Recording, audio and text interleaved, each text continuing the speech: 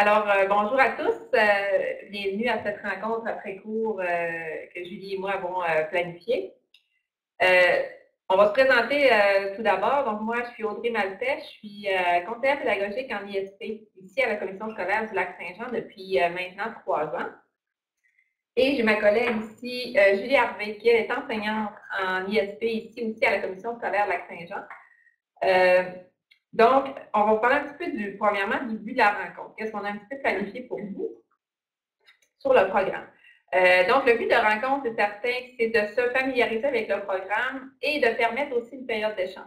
Parce que un petit peu ce qui nous avait été demandé, euh, de permettre euh, à ceux qui le désiraient d'échanger sur différentes questions concernant le programme EVR, sauf que afin que tout le monde soit un petit peu au même niveau, ce que Julie et moi avons prévu, euh, finalement, c'est aussi de vous parler du programme, un petit peu du contenu euh, du programme. Julie va vous préciser un petit peu le plan de la rencontre. juste vous dire un peu pourquoi nous, pourquoi on s'est proposé finalement à faire cette rencontre, c'est qu'ici à la commission scolaire, on a développé depuis quelques années le projet Persévérance qu'on appelle, qui utilisait le programme SEF. Donc, c'est certain qu'il va falloir faire des mises à jour avec le nouveau programme EVR e qui va être obligatoire là, d'ici quelques mois, obligatoire, les nouveaux euh, cycles que je veux dire. Donc, c'est certain qu'on a dû lire le programme, éplucher le programme. Donc, euh, Mme Gagné, qui est la responsable du programme, cherchait des volontaires pour justement animer l'après-cours. Donc, on s'est proposé euh, justement à partager avec vous nos lectures un petit peu, ce qui est ressorti de, notre lecture. Et par la suite, de ben, permettre une période d'échange. Donc, c'est certain que la durée de l'après-cours va dépendre un petit peu aussi de l'échange qu'il va y avoir suite à notre présentation du contenu et des composants, des différents aspects du programme. Pour ce qui est du plan de la rencontre, je vais laisser Julie. Euh, donc, euh, bonjour tout le monde, je n'avais pas eu l'occasion de vous dire bonjour. Donc, euh, plan de la rencontre pour cet après-midi. Premièrement, on va faire la présentation des visées du programme. par la suite, on va regarder plus la clientèle cible pour l'OVR. Et ensuite, présentation brève du contenu de cours. Donc, Audrey et moi, on s'est partagé les cours, donc on va vous parler des cinq différents cours. Et par la suite, euh, euh, il y aura une période d'échange et de questions à la fin. Donc, on vous demande peut-être de prendre en note vos questions, puis euh, par la suite, on va avoir une période d'échange. Il est certain aussi qu'on va préciser que ce peut qu'on ne réponde pas à toutes les questions, parce que ça, c'est un nouveau programme, on le met plus ou moins en pratique encore. Donc, c'est certain que s'il y a des questions qu'on n'est pas en mesure de répondre, qui correspondent peut-être plus à Mme Gagné, la responsable du programme, on va les prendre en note, c'est certain, et on va vous faire un suivi sans hésiter. Mhm. Donc, euh, mais comme on disait pour aujourd'hui, c'est vraiment de partager un petit peu la lecture et euh, euh, tout ce qu'on a ressorti du programme qui était quand même pertinent pour la suite. Donc, tout d'abord, je vais juste pas me mêler, OK. Tout d'abord, les visées éducatives. Ce qu'il faut savoir aussi, c'est que le programme fait partie du service d'enseignement de soutien pédagogique et c'est le seul programme qui fait partie justement de ce service d'enseignement-là. Euh, euh, justement, du cours, c'est vraiment travailler la persévérance scolaire. Donc, c'est pour soutenir la persévérance scolaire des élèves. Euh, la modification qui a été apportée aussi, c'est de favoriser l'utilisation de diverses approches d'enseignement-apprentissage dans le programme. Donc, la différence avec l'ancien CEF versus celui EVR e et faciliter l'adaptation aux divers changements aussi pour que l'élève soit plus apte euh, à persévérer, même s'il voit des obstacles ou des changements ou des imprévus. Donc, c'est un petit peu la visée euh, dans laquelle le programme a été fait. Pour augmenter, bien sûr, euh, les niveaux de compétences des adultes en formation et lever les obstacles à la persévérance. Donc, toujours permettre à l'élève de monter sa pente vers l'atteinte de son objectif scolaire, de son objectif même professionnel pour certains. Euh, la clientèle ciblée, c'est certain que c'est fait pour, c'est conçu pour l'ensemble des personnes euh, qui sont admises à la formation générale des adultes, peu importe leur parcours de formation. Donc, que ce soit en FG, ça peut être aussi même en ISP, ça peut être introduction à un stage et tout ça. Donc, c'est vraiment pour tout euh, les la clientèle de la FGA s'adresse à ceux qui vont désirer un soutien pour faciliter le retour en formation ou un passage aussi d'un cours à un autre. Parce qu'il faut savoir, c'est que les différents cours peuvent être donnés à n'importe quel moment dans la formation. Ce n'est pas obligatoire que ce soit dès l'entrée de l'élève ou à la sortie de l'élève euh, en FGA non plus. Donc, elle peut être donnée à n'importe quel moment où l'élève ou l'enseignant euh, ou l'accompagnant, dans le fond, euh, va trouver, va voir un besoin. pour aider l'élève à persévérer. L'enseignant va avoir la, avoir justement, s'il diagnostique un besoin dans ce sens-là pour la persévérance, pour son projet, vous voyez qu'il bloque, qu'il y a un besoin, ben, à n'importe quel moment, un des différents cours peut être mis à l'horaire de l'élève pour l'aider à avancer. Donc, ça va être des élèves qui vont avoir des difficultés là, à, intégrer, par exemple, un lieu de formation. Euh, dans les débuts, peut-être, vous voyez qu'il y a une, euh, difficulté dans ce sens. Euh, il va avoir difficulté à amorcer sa démarche d'apprentissage aussi. il arrive des jeunes, du secteur des jeunes, il y a plus de difficultés avec la nouvelle façon de faire. Donc, ça peut être une façon de l'aider aussi. maintenir leur motivation, donc si on voit un besoin là-dedans. il y aurait aussi des difficultés à gérer leur stress, par exemple, face à une évaluation, parce que vous allez voir qu'il y a un nouveau cours qui répond à un besoin là, qui est euh, pour euh, qui, qui, touche justement euh, la façon de vivre l'évaluation et comment bien s'y préparer. Donc, toutes leurs difficultés, là, on en a ciblé juste quelques-unes, mais ça peut être des difficultés qui peuvent être justement comblées par un nouveau programme d'engagement vers la réussite de l'élève. On poursuit. c'est certain que, comme tout programme d'études, ce programme vise également à développer l'agir compétent de l'élève. Donc, si je ramène un petit peu euh, les bulles qu'il y a ici, euh, donc l'épanouissement culturel, personnel, donc proposer des faits, proposer des, euh, une démarche même d'investigation personnelle, justement, pour qu'ils s'épanouissent en tant que personne dans, dans toutes les sphères. Rehausser ses compétences, donc amener l'adulte à mieux communiquer, à comprendre toutes les informations là, dans, dans sa vie courante qui peuvent lui être administrées. Donc, augmenter ses compétences, rehausser ses compétences, pardon, pour justement apprendre à tout traiter cette information-là et à l'utiliser euh, dans les bons contextes euh, et de la bonne façon. Euh, dans l'exercice de ses rôles sociaux aussi, ça va aider à travailler sa persévérance, s'adapter aux changements qui, qui vont accompagner un, changement de situation dans les différents rôles de sa vie, dans les différents rôles sociaux qui amènent à jouer le citoyen, consommateur et tout ça. Donc, c'est vraiment dans le même cadre que tous les programmes d'études pour développer l'agir compétent. Euh, de l'élève. Il faut savoir que c'est une approche par compétence. Un nouveau programme a été fait sur la même base que la FBC. Donc, l'approche par le traitement de situations de vie, euh, comme la FBC. Ça répond à des, problématiques liées à l'apprentissage, au maintien à la formation et surtout à la persévérance aussi. C'est vraiment d'amener l'élève à persévérer, à contrer les obstacles euh, tout au long de son parcours de formation. ça, il offre aussi, ça amène à offrir un contexte signifiant et authentique aussi à l'élève pour euh, poursuivre son projet de formation et atteindre toujours ses, objectifs. C'est certain que notre, euh, notre but premier à nous en tant qu'accompagnant, c'est que l'élève euh, atteigne son objectif qui s'était visé et qu'il s'en trouve un aussi. Le, programme va permettre justement de se trouver un, projet qui lui convient. c'est d'amener l'élève à se questionner. Le programme est pour ça aussi sur ses attentes, sur ses limites, sur sa réalité, ses besoins, pour définir où il est, où il veut aller, où il envisage d'aller, de par quel moyen il va s'y rendre.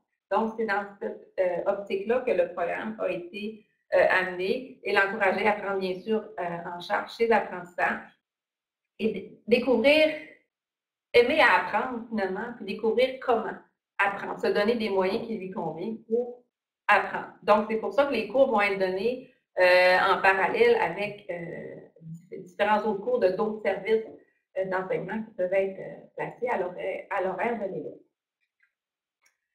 Voici, euh, ici, j'ai un tableau qui démontre l'offre de cours versus l'ancien programme SEF. au départ, nous avions, petit, au départ, nous avions plusieurs cours qui ont été remis en cinq cours. Il faut noter que le cours résolution de problèmes a été enlevé parce que systématiquement, par l'approche par compétence, la résolution de problèmes a été, euh, d'abord, va être intégré dans chacun des nouveaux cours. Donc, euh, ce qu'il faut savoir, c'est qu'ils ne sont pas cumulatifs. C'est-à-dire qu'un élève qui a déjà eu un crédit dans un des cours SEF, si par exemple, je prends le premier haut, initiation à la démarche de formation, je parle SEF, le SEF P021, si l'élève, euh, je lui remets le nouveau cours EVR 5001, il ne pourra pas cumuler les crédits s'il a déjà eu succès dans le SEF euh, P021. Donc, c'est la mention de non cumulatif. Euh, je crois que dans Charlemagne, là, que vous, pouvez voir vraiment l'aspect de non-cumulativité de chacun des cours. il faut savoir que si l'élève a déjà succès dans un cours SEF, c'est de bien euh, cibler quelle option tu pourrait avoir pour lui permettre d'avoir le crédit. Parce qu'il ne pourra pas avoir deux fois le crédit programme EVF versus le SE. On a inscrit ici un nouveau cours qui est le 5004, 50, oui, 5005, pardon. Le 5005 qui est mieux vivre l'évaluation. Ça répond vraiment à un besoin qui avait été remarqué justement pour accompagner mieux l'élève à vivre euh, l'évaluation, euh, à travailler la confiance en soi. C'est certain que le programme est axé là-dessus euh, aussi de si je sais qui je suis, si je sais où je m'en vais, que je connais mon projet, mes objectifs, c'est certain que la confiance en soi va être rehaussée. Et la confiance aussi face à l'évaluation. Donc, étant donné qu'il y avait un besoin qui avait été noté, ce nouveau cours a été mis en place dans le nouveau programme. c'est quoi les exigences d'une évaluation aussi? Julie va vous en parler un peu en détail tantôt et travailler le stress aussi, comment gérer mon stress face à l'évaluation. Donc, c'est la nouvelle offre de cours euh, qui, est, qui, a cinq cycles de secondaire 5. Donc, ce sont cinq cours optionnels de secondaire 5. C'est certain que dans le SEF, on avait du pré-secondaire, du secondaire 3, euh, pas du secondaire 3, pardon, du secondaire 4 et 5, mais le nouveau programme, ce ne sont que des cours optionnels de secondaire 5, donc des cours qui vont accorder un crédit d'option. Euh, pour euh, les différents élèves. Même si un élève est ciblé en secondaire 2 ou secondaire 3, euh, ça n'empêche pas qu'on peut lui mettre du EVR quand même pour l'aider à, avancer justement dans son, euh, dans son projet de formation, dans son parcours scolaire. Même si c'est un cours optionnel de secondaire 5, il peut avoir à son horaire tout de même un cours, pas obligé d'être en secondaire 4 ou 5 pour avoir un cours d'EVR. Donc, c'est à tout, comme je l'ai dit tantôt, c'est à tout type de clientèle qui est inscrit à la FGF si on poursuit. Euh, donc, le volet un petit peu plus administratif, j'en ai peut-être déjà euh, mentionné certains. Donc, cinq cours optionnels de cinquième secondaire, comme je viens de dire. Une unité de 25 heures pour euh, chacun des cours. Bien sûr, c'est encore une fois, c'est à titre indicatif, que ce soit moins, que ce soit plus. c'est pas, pas l'important. C'est l'important que l'élève atteigne les objectifs de chacun des cours. Donc, même si l'élève le fait en 20 heures ou si l'élève le fait en 50, 75 heures, il n'y a pas de problème en soi, c'est vraiment que l'élève atteigne à son rythme les objectifs. Et il n'est pas obligé d'être à temps plein dans le cours non plus pour euh, pouvoir cheminer. Il n'y a aucun préalable, aucune hiérarchie dans les cours. Donc, il n'y a pas un cours qui est obligatoire pour, pour pouvoir poursuivre euh, l'autre cours. Donc, c'est vraiment selon le besoin de l'élève où, l'enseignant va cibler une difficulté, un besoin. C'est le cours qui va être approprié, qui va être euh, mis à l'horaire de l'élève. Euh, les codes de cours AVR sont actifs depuis juillet 2018, donc euh, en ce moment, vous pouvez les utiliser pour ceux qui veulent déjà embarquer dans le nouveau programme, pas obligé d'attendre que le SF soit fermé. Euh, notez que les fermetures de codes SF ont été reportées au 30 août 2019. Au départ, c'était en juillet, mais ont été reportées au 30, au 30 août 2019 pour permettre aux élèves d'été, justement, de terminer la session d'été. Euh, voilà. Et il y a les prototypes, je n'ai pas écrit, il y a des prototypes d'épreuves aussi qui vont être disponibles euh, éventuellement sous peu. Donc, c'est certain, euh, je voulais vous mentionner tantôt qu'on n'embarquera pas encore dans l'évaluation, étant donné qu'on n'a pas vu les prototypes, on ne veut pas trop s'avancer. On va vous parler des critères d'évaluation, oui, parce qu'on vous a mis dans, la présentation les, la grille critériée, mais on ne s'avancera pas dans les prototypes parce qu'on n'a pas, on les a pas lus, on les a pas vus. Donc, je ne vais pas m'avancer non plus dans de quelle façon euh, ça, va, ça va être euh, évalué, les différents critères d'évaluation. Et sachez que ce sont des prototypes, donc euh, vous pouvez continuer à évaluer, à, ramasser des trappes si vous respectez la DDE, la, définition du domaine d'évaluation. il y a toujours moyen là, de faire une évaluation qui correspond et qui va aller chercher justement les acquis des élèves dans chacun des premier cours. Donc, là maintenant, nous allons faire moi et Julie, le tour un petit peu de chacun des cinq cours. On vous, a, on vous a rapporté finalement dans un tableau les composantes de chacun des cours qu'on a retirés du programme avec quelques exemples. Euh, S'il y a besoin d'aller d'être plus, euh, d'être clarifié ou d'aller plus loin, on ira avec les besoins. Parce que c'est certain qu'en montant la présentation, euh, on n'avait pas encore trop les, les, types de questions qui étaient posées par rapport au programme. Donc, on est allé un petit peu avec qu'on a ressorti de pertinent. Puis vous irez avec vos questions s'il manquait de détails ou de, d'autres questionnements qu'on n'a pas répondu, là, plaisir. Mais là, on va aller comme ça. Puis, euh, et on va regarder aussi les critères d'évaluation pour chacun.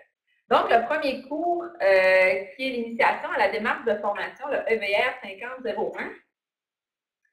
Donc, 5001, le cours Initiation à la démarche de formation, c'est vraiment pour amener l'élève à se familiariser pardon, avec le milieu de la formation, un milieu de formation. Donc, euh, quand il arrive à l'école, c'est vraiment se familiariser avec les ressources disponibles, euh, ce qui se passe là, dans l'école même pour justement se familiariser avec le milieu de formation dans lequel euh, il, va venir évoluer.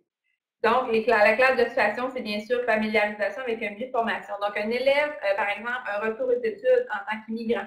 Donc, c'est amener l'élève à bien connaître les nouvelles façons de faire au Québec et tout ça. Euh, apprendre à concilier aussi études, vie privée. Euh, un élève qui, euh, qui, est la réflexion sur sa situation scolaire peut venir justement par ce cours clarifier un petit peu ce qu'il vient chercher euh, ou ce qui se situe par rapport à son projet de formation, finalement, d'apprendre à fonctionner dans, son nouvel environnement. ça peut être aussi un élève qui, fait un retour suite à une perte d'emploi, il revient aux études, va se familiariser avec son, sa nouvelle situation, surtout. Euh, les catégories d'action, donc s'approprier euh, les exigences liées à une démarche de formation. Qu'est-ce que ça exige de retourner aux études? Euh, découvrir les comportements qui vont faciliter ta réussite, prévoir les règles de vie adaptées à une démarche de formation, les habitudes de vie, est-ce qu'il y en a à changer pour faciliter ta réussite? reconnaître aussi, là je suis à droite, reconnaître les facteurs de réalité à prendre en compte. Donc, les premiers cours, les deux premiers cours que je vais vous parler, beaucoup, on est beaucoup axé sur les facteurs de réalité. Oui, l'élève revient aux études, mais qu'est-ce que, quelles conditions vont être gagnantes? Est-ce qu'il y a des choses à changer pour justement euh, lui permettre de persévérer dans son, euh, dans son, parcours, dans son parcours scolaire? Euh, donc, considérer un métier qui incite à la poursuite de sa scolarité. Donc, trouver un projet, là, il va comme explorer un petit peu pour en venir à un projet réaliste qui va lui, permettre de persévérer. Euh, donner les raisons qui peuvent contribuer. Donc, travailler l'abandon scolaire, quelles raisons qui pourraient, quel obstacle que je pourrais rencontrer, comment je pourrais contrer ces obstacles-là pour justement me permettre encore de monter ma pente et d'atteindre euh, mon objectif? Donc, ce sont les deux catégories d'actions que les enseignants vont travailler euh, avec les élèves. Donc, qu'est-ce que ça exige de retourner aux études? Et, c'est quoi mes facteurs de réalité qui vont peut-être poser obstacles et qui vont être mes forces aussi? C'est de travailler avec les forces. Euh, de l'élève également. Euh, les compétences polyvalentes, donc agir avec méthode et coopérer bien sûr avec toutes les ressources qu'il va découvrir au fil de son parcours scolaire. Si je poursuis, donc, les savoirs essentiels qui sont touchés, donc, c'est sûr, ça va être tout ce qui est les différents facteurs de réalité. donc, ben, je vais commencer. Avant, c'était plutôt les exigences des démarches de formation, pardon. Donc, disposition personnelle requise pour une démarche. Quelle attitude, quel comportement je dois avoir pour réussir mon parcours? Les conditions de réalisation d'une démarche de formation. Est-ce qu'il y a un code de vie dans le centre que je dois savoir? Les règles, administratives, donc tout ce qui est euh, administratif, tout ce qui est environnement, euh, les règles, règlements, code de vie, la vie scolaire, finalement. C'est sûr que l'élève, c'est bien qu'il se familiarise. Conditions de réussite. Euh, à l'atteinte de son objectif de formation. Quelles conditions qui doivent être mises en place pour que l'élève réussisse? C'est sûr, c'est une démarche, il faut savoir que c'est une démarche de l'élève. C'est l'élève qui fait ses réflexions. Euh, c'est l'élève qui fait ses recherches. Donc, c'est vraiment une approche par compétence. Donc, l'élève euh, va faire ses réflexions pour en venir à établir ses conditions de réussite, ses conditions de réalisation de son projet. on va tomber ensuite dans les, les facteurs de réalité. Quelles conditions de vie que tu as en place? Est-ce qu'il y a des choses, à, des améliorations à apporter, par exemple, dans ses habitudes de vie? Quelles sont ta condition familiale? Est-ce que ça apporte des obstacles? Comment on peut les contrer? Quelles ressources euh, qui pourraient être disponibles pour m'aider? Donc, c'est vraiment aider l'élève à travailler avec ces facteurs de réalité, puis à être le plus objectif, pas objectif, le plus authentique possible, bien sûr. Historique de formation. Je viens d'où? Qu'est-ce qui s'est passé avant? Euh, quelle expérience que j'ai, psycho-affective, tout ce qui est relationnel. Donc, est-ce que ça a fonctionné? Qu'est-ce qui a fait que ça n'a pas fonctionné? Comment je pourrais justement faire en sorte que cette fois-ci, ce soit la bonne fois? Euh, les ressources du centre de formation, les ressources externes aussi. Donc, quelles ressources qui peuvent m'aider si j'ai un besoin, à qui je peux me référer? C'est vraiment d'amener l'élève à connaître justement son établissement, à connaître son nouvel environnement de formation pour l'aider le plus possible à, à persévérer. On va ramener le mot à persévérer dans son parcours scolaire. À la fin du cours, c'est vraiment d'amener l'élève, souvent vraiment, c'est d'amener l'élève à s'approprier, vraiment, vraiment, à s'approprier des exigences liées à une démarche de formation. C'est de regarder avec l'élève qu'est-ce que ça exige que tu viennes t'asseoir dans la classe, les attitudes, les comportements et tout, euh, de reconnaître ces facteurs de réalité à prendre en compte, de travailler avec ces facteurs de réalité, parce qu'il y a certains facteurs qu'on ne peut pas changer si l'élève a deux enfants, euh, je ne peux pas modifier ça. Comment je fais pour que ce soit, ça, si, que, si ça en devient un obstacle, mon facteur de réalité, comment je peux, quelles ressources, par exemple, pourraient venir justement m'aider euh, à contrer et à continuer mon parcours? Explorer les ressources pouvant répondre à ses besoins, de reconnaître qu'est-ce qui se fait autour, puis à qui je peux poser mes questions si j'ai un besoin. Et les attitudes, euh, le programme est fait, c'est sûr qu'on a, oublié d'en parler, mais les attitudes, euh, le, programme cible une dizaine d'attitudes que l'élève a, à, euh, a avoir dans sa démarche de formation. Comme pour ce cours ici, en, reconnaissant ces facteurs de réalité, les exigences d'une formation, il doit faire preuve d'une attitude d'ouverture, bien sûr, avec tout ce qu'il va recevoir comme information, et avoir fait faire preuve de détermination aussi, justement, dans sa réflexion euh, et dans le travail qu'il va faire sur soi. Donc, c'est les deux attitudes que l'élève doit avoir quand il fait ce cours-là. Et il y en a plusieurs, ça va changer là, avec les différents cours de euh, donc, c'est euh, premier cours. La prochaine page, c'est les critères d'évaluation. Donc, j'ai repris la grille euh, critériée qu'il dans les définitions du domaine d'examen sont disponibles sur le site euh, du ministère. Euh, c'est de dans le fond, les trois critères qu'il faut amener, euh, auxquels il faut amener l'élève à justement atteindre de façon satisfaisante, c'est de un, s'approprier de façon judicieuse les exigences liées à une démarche. Donc, c'est l'élève, est-ce qu'il fait des liens avec les, sa situation et les exigences d'une nouvelle démarche, fait un lien avec ces facteurs de réalité et ces exigences-là, et est-ce qu'il a conscience de ce qu'il doit apporter comme modification, connaître ses forces? Euh, le, la deuxième critère, reconnaissance juste de ces facteurs de réalité à prendre en compte. Donc, il sert ces facteurs de réalité de façon précise et détaillée et authentique, bien sûr, parce que le, le but, c'est de ne pas, de, pas s'inventer un comportement, une personnalité, c'est vraiment de travailler avec ce que l'élève a comme bagage. Euh, et le critère 3, explorer de façon méthodique des ressources qui peuvent répondre à ses besoins. Donc, c'est d'amener l'élève à connaître les exigences, à reconnaître ses facteurs de réalité et les ressources qu'il y, a autour de lui qui peuvent être euh, pertinents. Et c'est vraiment, si on lit, c'est que l'élève est présent. Je n'ai pas l'évaluation, mais j'imagine qu'il doit avoir peut-être une façon, euh, peut-être de présenter ce qu'il a fait comme euh, découverte, ce qu'il a recueilli comme, comme information. le prototype d'évaluation, ça va nous dire de quelle façon l'élève présente, mais euh, si vous respectez la DDE, là, la DDE précise différentes façons de le faire, euh, ces trois critères. Donc, c'est le premier cours EVR euh, e 5001 qui se conclut comme ça.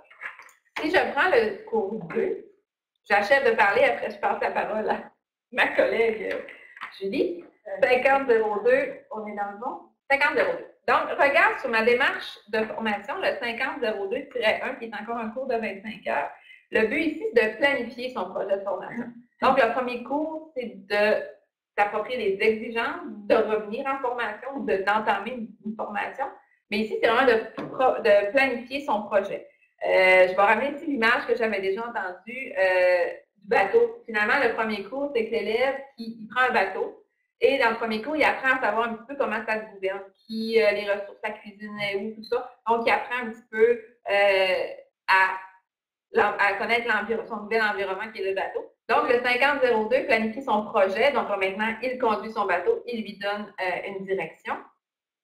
Donc, euh, la classe de situation qui est planification d'un projet. Donc, un élève qui, son projet, c'est d'obtenir son DES. Donc, euh, il va aller voir un peu qu'est-ce qui lui manque pour justement l'obtenir.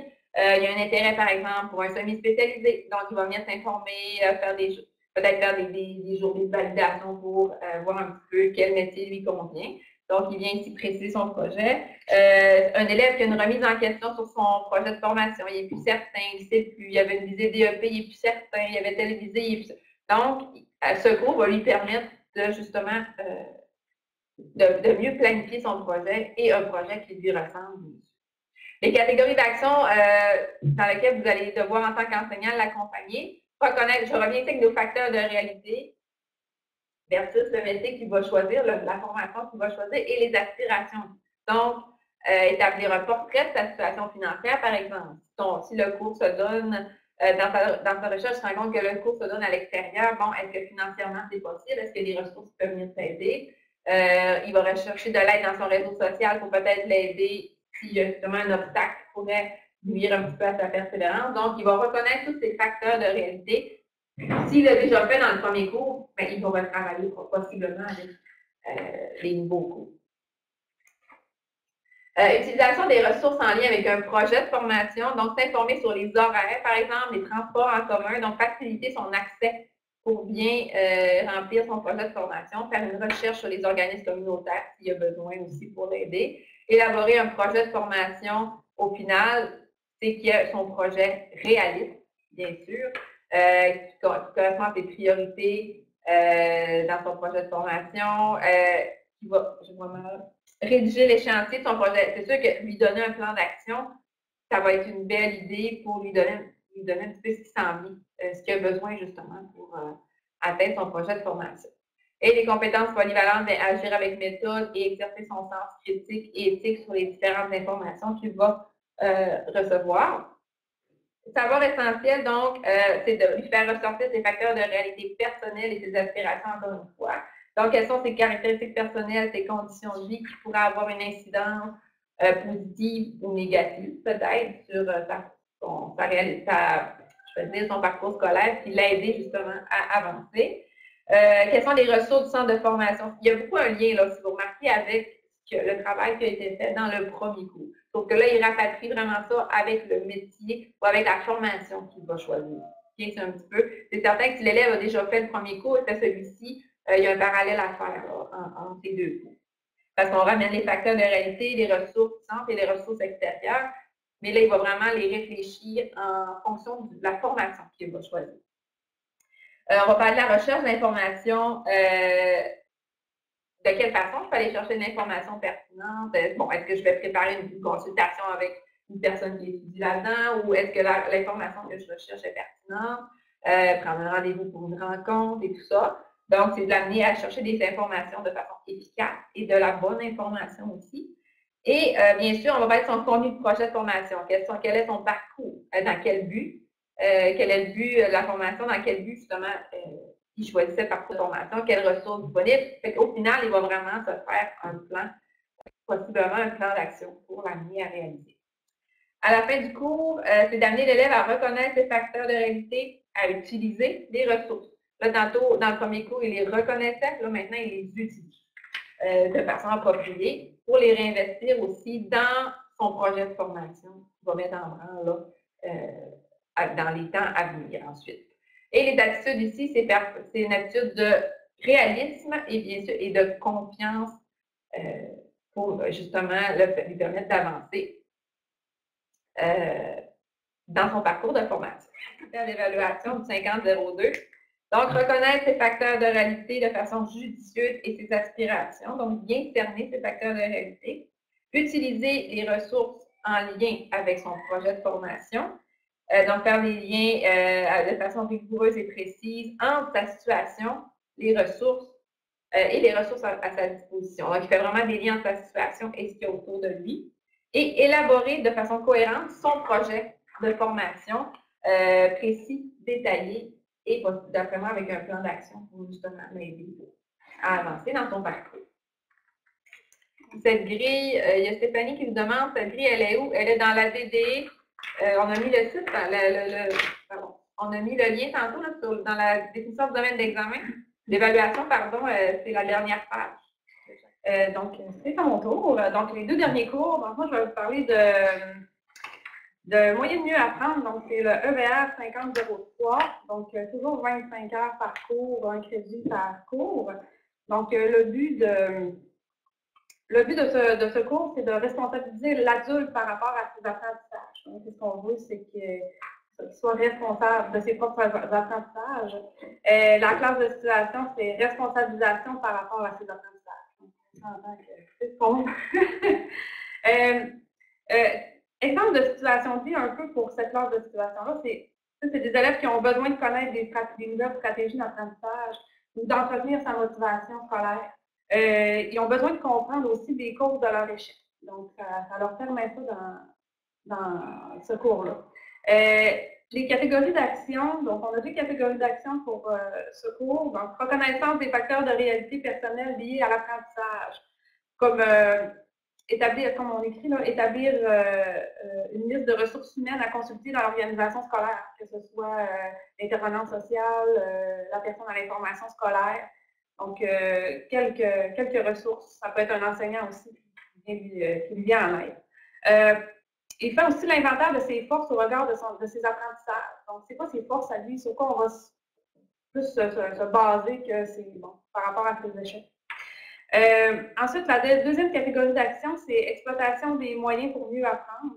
Donc, ce qu'il va faire, c'est euh, se faire un échéancier, donc un, calendrier ou un échéancier euh, dans ses cours de français, de mathématiques, peu importe.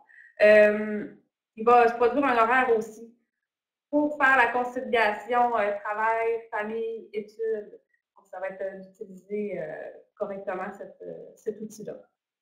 les compétences polyvalentes qui, qui, sont en rapport avec ce, ce cours-là, c'est raisonner avec logique et agir avec méthode, d'où le calendrier. Par la suite, toujours dans moyen de mieux apprendre, les savoirs essentiels euh, tout ce qui est contexte d'apprentissage, toute son organisation scolaire, les ressources externes, euh, les approches pédagogiques différentes qu'il devra connaître. Euh, il y a la disposition personnelle, donc pour bien apprendre, c'est quoi son style d'apprenant, la mémorisation, on a même les intelligences multiples qui peuvent rentrer là-dedans, les rôles de la motivation. Par la suite, tout ce qui est stratégie d'apprentissage socio-affective, cognitive, et pour terminer, l'organisation d'un plan de travail. Donc, comme on disait tout à l'heure, ses objectifs, calendrier, ses priorités, travail, études, famille. Toujours avec des facteurs de. Vous remarquez, les facteurs, de réalité reviennent pratiquement dans chacun des cours. C'est vraiment que l'élève se définisse où il est, qui il est, beaucoup plus facilement euh, qu'il avance dans le chemin, là, dans le parcours qui va être Absolument. Donc, à la fin de ce cours-là, on s'attend que l'élève euh, reconnaisse ses facteurs de réalité personnelle. Donc, il va les avoir travaillés. Il y a déjà aussi les deux autres cours. Il a déjà passé par les deux autres cours qu'Audrey euh, euh, expliqué tout à l'heure. Donc, ces facteurs de réalité devraient être euh, déjà trouvés. Euh, c'est exploiter des moyens aussi pour mieux apprendre. en relation peut-être avec l'orthopédagogue, des, nouvelles façons de faire aussi.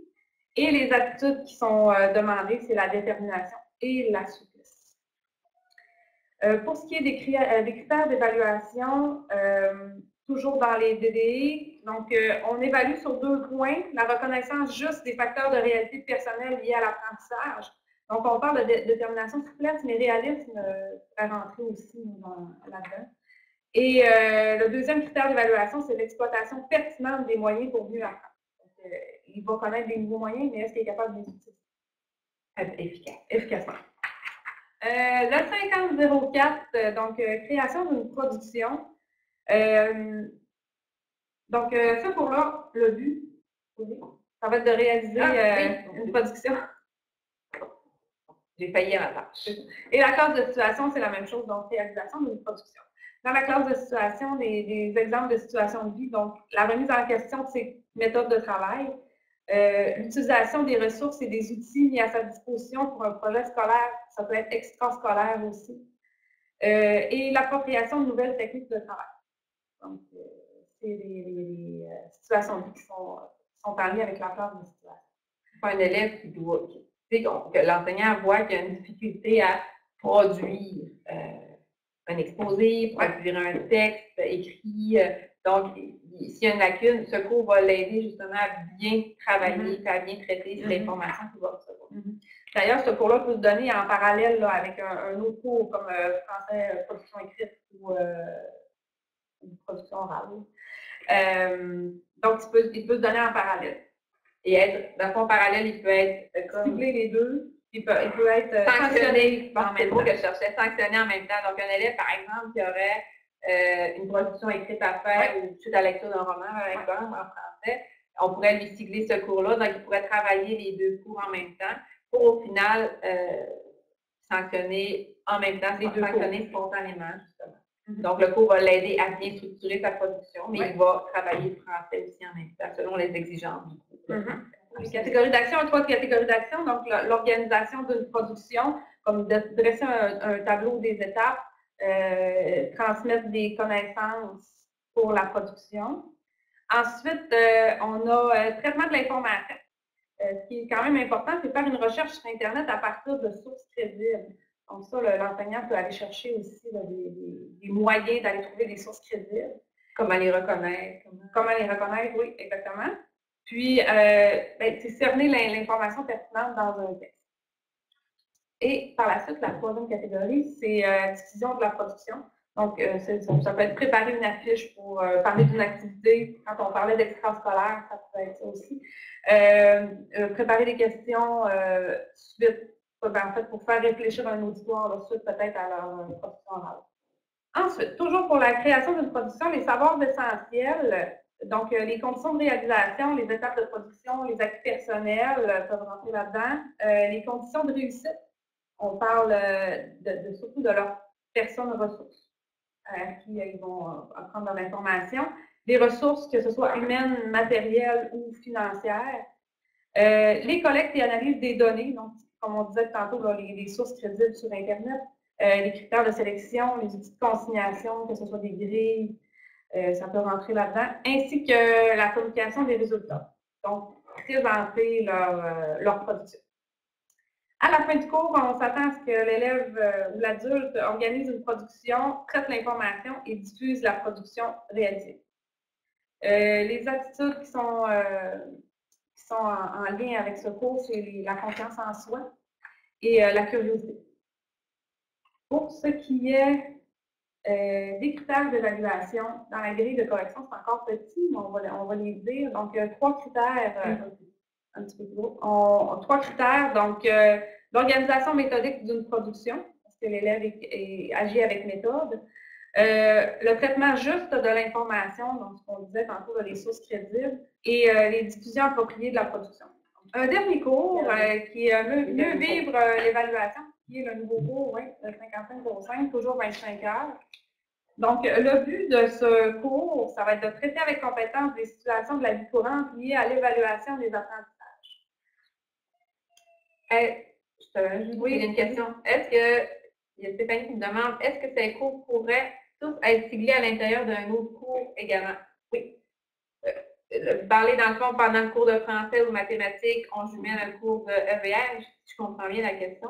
Euh, oui, au moment où, l'enseignant voit vraiment un besoin euh, qui permettra à l'élève d'avancer dans son parcours, de persévérer, on peut lui ajouter justement un des sigles EVR en même temps que en parallèle, rajouter à son horaire justement dans l'école. Donc oui, peuvent être jumelés. Euh, si vous voyez une pertinence d'un travail, par exemple, euh, de français qui a un lien avec son projet de formation, ben, on pourrait peut-être travailler les deux mm-hmm. parce qu'ils peuvent vraiment être travaillés euh, en parallèle, les, ben, les différents cours Excuse-moi, je... Ah, il n'y a pas de problème. Donc, mieux vivre l'évaluation. Donc, la classe de situation, c'est l'exploitation et l'évaluation des apprentissages. Pour ce qui est des, situations de vie, bon, c'est leur, expérience des, échecs répétés, leur doute à l'égard euh, de leur capacité de, leur, réussir, surtout le stress face aux évaluations, ce qui est beaucoup vécu par les élèves. Oui, exactement. Euh, par la suite, les catégories d'action, on a deux catégories d'action dans ce, dans ce cours. Donc, euh, la reconnaissance des variables en situation d'évaluation, comme par exemple expliquer dans ces mots des consignes qui ont été données euh, ou encore repérer le matériel autorisé pour une situation d'évaluation. Est-ce que j'ai euh, besoin de crayon, espace, calculatrice, règles? Donc, c'est de, dictionnaire, c'est vraiment de repérer euh, tout ce que j'ai besoin comme matériel. Et de l'avoir en main. Exactement. Oui, pas juste le repérer visuellement. ensuite de ça, la deuxième catégorie d'action, c'est la mise à l'état des pratiques en situation d'évaluation. Donc, ça, ça va être d'envisager des questions qui peuvent être possibles en situation d'évaluation et être capable de répondre. Donc, se mettre euh, en, essai. En essai. et puis aussi de démontrer sa capacité de gestion du temps en situation d'évaluation. Donc, les élèves ont de la difficulté avec la gestion du temps, ils vont-ils réussir à faire? On fait des pratiques dans le temps réel, des de production, de deux heures et demie, on va la faire en deux heures et demie, voir qu'est-ce que tu es capable de faire. Donc, euh, si l'élève, par exemple, fait des traités, ben, peut-être que ça pourrait être une belle opportunité mm-hmm. euh, de cibler ces cours-là pour mm-hmm. euh, justement bien accompagner l'élève en, lien avec les conduits de ce cours-là versus le prétexte qu'il est en train de faire. Ça pourrait être une belle, un beau parallèle à faire. Une belle pratique. Une belle pratique. Ouais. Donc, les compétences polyvalentes, c'est raisonner avec logique et exercer euh, pour ce qui est des savoirs essentiels, avec le cours Mieux, mieux vivre l'évaluation, donc on a les exigences de l'évaluation. Euh, c'est quoi le contenu? C'est quoi les types de tâches? C'est quoi le mode d'évaluation? Donc, ça, euh, de, les connaître. ses facteurs personnels d'influence, comme son aspect psychologique, son, ses aspects physiologiques. donc, avant l'évaluation, c'est quoi ma condition personnelle? est-ce que j'ai révisé mon épreuve? Est-ce que je suis prêt à aller passer l'évaluation, gestion du stress? Puis après ça, il y a pendant l'évaluation, donc euh, c'est quoi mes priorités? C'est quoi mes ressources d'aide? Euh, c'est quoi mon objectif d'apprentissage aussi? Et après l'évaluation, ben, est-ce que je suis capable de me faire une petite rétroaction? Euh, ça, va être quoi ma mesure de suivi? Donc, c'est de tout planifier vraiment le avant, pendant et après d'envisager peut-être même aussi un résultat positif versus par exemple un échec, ou comment je vais réagir, c'est d'anticiper ça aussi, puis comment je vais utiliser ça pour bien, pour continuer à persévérer malgré que j'avais travaillé fort, ça n'a peut-être pas donné le résultat escompté, mais de se préparer au, après aussi. Euh, donc, l'attente de fin de cours, donc reconnaître des variables en situation d'évaluation et de mettre à l'effet des pratiques d'évaluation pour reprendre confiance en, en leur capacité en leur capacité, des fois, peut-être des élèves qui ont souvent eu des échecs, mm-hmm. peut-être ça peut être un cours qui va leur redonner confiance, de, bien pratiquer, de bien structurer, de bien se préparer vivre une, évaluation. Exactement. Et puis, euh, ben, les attitudes, là, c'était sens de responsabilité et précédence. euh, pour ce qui est des critères d'évaluation, donc on a deux critères. Donc, la reconnaissance juste des variables en situation d'évaluation. Donc, est-ce que je connais bien les, euh, les, points forts, les, conditions. les conditions? Et euh, la mise à l'effet judicieuse de pratiques en situation d'évaluation. Donc, de nouvelles pratiques qu'ils ont pu apprendre, qu'ils ont pu connaître. Donc, c'est les mettre à l'effet. Donc, judicieusement. Judicieusement. Ça ne veut pas dire que ça va fonctionner, mais c'est de façon judicieuse. Comme je disais, si en parallèle avec une pratique à un test qui est en train de vivre, ben, ça serait pertinent parce que là, c'est vraiment dans le concret. Euh, il est en train de vivre, le stress, il est en train de vivre. Donc, quand on disait parallèle tantôt, ça peut être un autre parallèle qu'on peut faire. Euh, pour terminer, avant la période d'échange, euh, donc au terme, juste pour un petit retour, euh, les attentes au terme de cette formation-là, c'est de permettre à l'élève de s'approprier son lieu de formation et de bien s'y intégrer, ce qui va faciliter sa confiance, qui va faciliter sa réussite, sa motivation. c'est de l'amener à amorcer aussi une démarche d'apprentissage. S'il vient de reculons, ben, peut-être que je pourrais l'aider à bien intégrer son parcours, son, son nouvel environnement. utiliser des moyens d'apprentissage. On va lui en présenter euh, pas parce que ton ami étudie en apprenant par cœur que toi, ça va être ta façon de faire. Donc, c'est toujours ces facteurs de réalité et lui donner ces moyens dans lesquels il va se reconnaître, qui va être facile pour lui d'utiliser. Euh, aussi, c'est de l'amener à maintenir une motivation à apprendre. S'il se trouve des trucs, qu'on l'amène à se trouver un projet qui lui ressemble, qu'il y a des trucs d'apprentissage qui lui conviennent, la motivation euh, va être plus grande et les obstacles vont peut-être paraître moins grands aussi. Mm-hmm. Et aussi, gérer son stress, que nous beaucoup ramène aussi, là, gérer le stress face à l'évaluation. Mais je dirais aussi face à, c'est même dans les débuts, l'exigence d'une démarche de formation, le stress vis-à-vis de ce nouveau, peut-être pour certains qui reviennent aux études, ben, le stress vis-à-vis de ce, nouvel environnement, ce nouveau, euh, cette nouvelle réalité d'étudiants, euh, d'élèves aussi, ça arrive. Je pense que j'ai tout dit. Donc, euh, on serait rendu à la période d'échange. donc, je sais qu'il y en a qui voulaient peut-être échanger. S'il y a des questions que vous avez gardées, là, que vous pouvez les poser, euh, des commentaires même euh, ou un besoin aussi pour éventuellement peut-être une autre, rencontre comme ça. Euh, partager des faits vécus. S'il y en a qui ont déjà expérimenté les cours, bon, est-ce que vous voulez nous les partager? Partage les pratiques et tout. On a monsieur, on a deux questions. En fait, euh, oui, j'ai Éric River qui dit euh, Comment voyez-vous les bienfaits et les applications, adaptations éventuelles de l'approche de ce nouveau programme auprès des étudiants autochtones? Euh, ben, pour avoir un groupe d'Autochtones ici, on, travaille avec un groupe d'Autochtones ici, on en a une vingtaine. Je vous dirais, moi, je, crois que ce nouveau programme-là va justement les aider à apprivoiser cette nouvelle réalité. Parce que la difficulté qu'on remarque, en tout cas, pour avoir enseigné au groupe, c'est une autre réalité, euh, tout ce qui est habitude de vie, tout ce qui est comment ça fonctionne, arriver à l'heure. Beaucoup ont des jeunes familles aussi. Donc, je pense que les premiers cours, surtout, c'est quoi les exigences de revenus? C'est euh. C'est quoi tes facteurs de réalité et de venir t'asseoir euh, dans ta classe, bon, quelle exigence que ça va apporter, puis vraiment de travailler, parce qu'il faut beaucoup travailler, oui, avec leur réalité, faut s'adapter, mais il faut que les amener aussi à trouver un certain équilibre dans ce nouveau rôle-là et leur rôle de parent. Pour certains ici, on a beaucoup de jeunes parents. Euh, donc, moi, je pense que ça sera un, ça va être un bienfait. Là, euh, c'est sûr, je pense qu'ils vont le mettre en application, là, euh, pas cette année, mais dès l'année prochaine, avec les, nouveaux arrivants autochtones qui viennent dans nos établissements.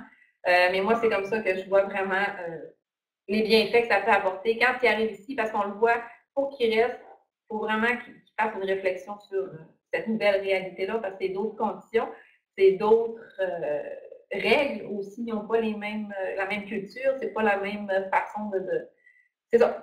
Moi, je pense que ça va être un beau plus, surtout le, premier cours, les exigences d'une démarche de formation, pour éventuellement peut-être amener le projet de formation, parce qu'au départ, c'est pas nécessairement clair. ils ont peut-être le temps de s'acclimater avec le climat moi, je pense que le projet de formation pourrait venir éventuellement avec ceux qui sont prêts à vraiment euh, se fixer en, en coderie. Eric te remercie. C'est mon nouveau mandat à l'équipe choc pédagogique. Voilà, s'en parle. Oui. Oui, ben, on, a, on, a, des élèves, des enseignants très euh, dynamiques. Oui, si vous avez des questions, n'hésitez pas. Euh, on pourra vous mettre en contact. Il y a Hélène qui a levé la main. Oui. Oui, Hélène. Alors, merci beaucoup pour la présentation. Euh, qui était éclairante. Et puis, euh, moi, je suis au Centre Saint-Michel à Sherbrooke. On m'a demandé, j'ai un mandat de développement pédagogique. Puis en vous écoutant, il y a deux questions qui me viennent. Dans ce que vous nous avez expliqué, puis vous avez jumelé un peu, par exemple, les pré-tests, l'idée qu'un étudiant pourrait être en français, puis en même temps être siglé dans un cours EVR, euh, voyez-vous que tous les enseignants vont enseigner de l'EVR ou si vous pensez que c'est un peu comme dans les disciplines, les profs de français enseignent le français, qu'il y aurait un, groupe d'enseignants EVR. Euh, c'est des questions qu'on se pose, nous, à Saint-Michel. Comment on est en train d'organiser tout ça? Alors, puis ma deuxième question, euh, vous, vous, aviez un, un projet, j'imagine, ISP, Persévérance. Alors, c'est associé, le développement que vous faites est associé à ce programme-là. Est-ce que faites-vous un développement qui est beaucoup plus large, qui va aussi rejoindre la FGA, euh, IS. Euh, alors, euh, c'est un peu ça. pour la première question, les enseignants, ben, ici, nous, comment, on fonctionne pour l'instant, il y a Julie ici qui travaille avec les élèves à FGA qui ont un besoin. là, c'est SEF en ce moment, là. on, est, on est en train de justement modifier pour correspondre. Et en ce moment, il y a Julie qui est l'enseignante CSP qui va travailler avec l'élève ou l'enseignant voit qu'il y a un besoin. Euh, donc, il va aller rencontrer Julie dans des séances individualisées euh, à certains euh, moments dans son horaire pour aller justement travailler. Julie, c'est surtout, surtout le projet de formation, bien sûr, la démarche de formation et de projet. mais c'est Julie, pour l'instant, nous, c'est comme ça qu'on fonctionne. C'est au besoin, quand l'enseignant voit un besoin, euh, il est référé à Julie, là, qui est pour des, dans des rencontres individuelles sur un temps donné, jusqu'à ce que Julie sente qu'il est prêt. elle travaille vraiment en équipe avec l'intervenante sociale, puis les enseignants euh, aussi qui sont en classe pour justement accompagner l'élève dans, dans le, besoin que l'enseignant a cerné. donc, les élèves sont ciblés par l'enseignant. Oui. OK. C'est bon. La deuxième question, c'est par rapport à l'ensemble des programmes FGA, IS, euh, ISP. Euh, nous, le, projet Persévérance, comme on, il y a peut-être certains qui nous ont entendus parce qu'on a fait la présentation dans certains euh, colloques l'année dernière. mais on travaille avec des élèves en FG qui intègrent la FG. ils ont un six semaines obligatoire. Ils sont référés par Service Québec, mais ils ont un six semaines où ils vont avec Julie pour vraiment travailler leur projet de formation, donc le, cours 50-02. Là, en ce moment, on met SEF 40, on, utilise les EVR Là, l'année prochaine, on va mettre les EVR 50-02. dans le fond, c'est comme un passage obligé que Service Québec leur donne. Mm-hmm. Euh, ils ont un six semaines avec Julie à raison de 9 heures par semaine pour travailler leur projet de formation. Donc, un petit peu se situer où ils sont, qu'est-ce qu'ils ont déjà vécu, un petit peu comme on disait tantôt, là, euh, ressortir l'historique un petit peu euh, de ce qu'ils ont vécu. Puis Julie travaille avec eux à se trouver un projet. Ils vont faire l'élève d'un jour, validation aussi en entreprise et tout ça pour qu'ils ressortent avec un projet, un plan d'action au final. Donc, c'est très motivant. En tout cas, ça fait quelques années qu'on le fait c'est très, très motivant pour eux. Euh, des fois, c'est pas nécessairement qu'il va te pour atteindre ton secondaire 5, mais ils ne savent pas, ça, des fois, les préalables et tout ça. Puis, des fois, ils ne savent pas du tout dans quelle direction se, diriger. Donc, Julie les accompagne. C'est comme un passage obligé par Service Québec. OK. Bon. Et bon, ben, merci beaucoup. Merci à vous nous, on a toute une réflexion actuellement sur l'organisation de tout ça, puis comment on va cibler les adultes, comment on va les amener à suivre ces cours-là. Ça, c'est le questionnement qu'on est en train de se faire, là, qui serait un besoin peut-être pour un après-cours, un prochain, un prochain après-cours, voir comment ça s'organise, euh, dépendamment de la grosseur du centre aussi. Là. Mm. C'est pas vous avez des questions, vous ne pouvez pas hésiter à nous téléphoner. On fait partie de l'équipe choc aussi euh, organisationnelle, donc euh, on peut accompagner aussi, répondre à certaines questions dans ce sens-là aussi. Ah, ben merci beaucoup. Merci. beaucoup. Il y avait Stéphanie Baudet qui demandait euh, est-ce l'enseignante en ISP qui donne l'initiation et regard? Est-ce que ces cours ont été intégrés en parallèle? Initiation et. Ah, les cours. Euh, là, on est, nous, on est encore dans cette année, on termine l'année avec les, anciens signes l'année prochaine. Mais oui, c'est Julie, euh, comme je disais tantôt. J'ai dû répondre à votre question probablement. Euh, parce qu'elle a écrit une question. mais c'est ça, fait que c'est Julie qui enseigne pour l'instant euh, aux élèves avec des besoins. C'est sûr que là, avec les nouveaux cours qui arrivent, l'évaluation, probablement que les enseignants vont l'intégrer peut-être un petit peu à peu pour certains élèves. Mm-hmm. Euh, probablement avec les autochtones aussi, je pense, pour vivre une évaluation. Euh, Création de production, ça. mieux vivre l'évaluation, ça va peut-être être intégré. Fait que je crois qu'on va l'intégrer avec les, les, enseignants même. Mm-hmm. dans oui, c'est répondu. Parfait. Caroline Pronovo qui te demande est-ce que le code EVR est à l'horaire de l'élève et est-ce que Julie a 15 élèves à la fois? Oui, cette année, on a fonctionné avec les SEF. Mm-hmm. Mais oui, ils sont ciblés à l'horaire à raison de trois demi-journées euh, avec Julie. Euh, Julie, ça dépend. Euh, j'ai pas toujours 15 élèves. Puis, ça dépend. Des fois, j'en ai plus, des fois, j'en ai moins. dépendamment des groupes aussi. j'ai beaucoup de gens individualisés. Donc, je, mais je ne peux pas dire que j'aurai assez aux 15, 15, élèves un prof. Pour l'instant, oui. S'il n'y a pas d'autres questions, euh, moi, je crois que ça va pour moi. Euh, j'espère qu'on a un peu répondu aussi à vos attentes. comme on disait, on ne savait pas trop qu'est-ce que les gens voulaient. Euh, s'il y a d'autres besoins, là, on a vu qu'il y avait un besoin peut-être pour comment justement le mettre en place, le mettre en mm-hmm. pratique. Fait qu'on regardera pour peut-être éventuellement. vos coordonnées, si on veut vous joindre, seront dans le document de présentation. Euh, sont-ils dans le document? Je pense qu'on les a pas mis. Non, on ne les a pas dans le document. Mais euh, je peux euh, les envoyer le parcourir avec tout le monde. Je vais le mettre sur la page de l'article, sur, le site des après-cours, où on peut vous rejoindre. OK. on va les mettre, c'est ça. N'hésitez pas à, nous poser des questions. Puis nous, ça va aussi peut-être enrichir. on verra s'il y a un besoin pour une éventuelle à l'automne. Parce que la méthode, vraiment, on va l'implanter. Peut-être que vous aussi, vous allez avoir vu des expériences. Peut-être ça serait bien de se rencontrer encore une fois pour peut-être plus en échange aussi. Puis avec les prototypes, probablement qu'on va regarder à l'automne avec des prototypes là, pour les présenter, puis regarder un petit peu comment on peut les faire vivre, les adapter. Je répète, c'est des prototypes. Donc, on peut euh, les adapter tant qu'on respecte la DDI, Donc, euh, un gros merci pour euh, votre attention et j'espère qu'on a répondu quand même à certaines de vos attentes.